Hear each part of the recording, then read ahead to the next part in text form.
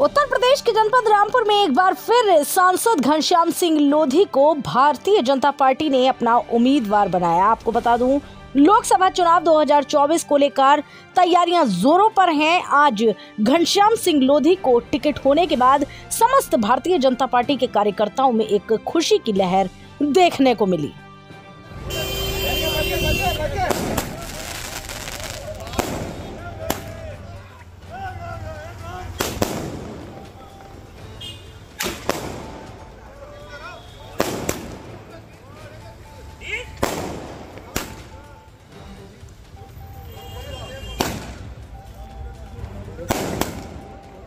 रुको रुको रुको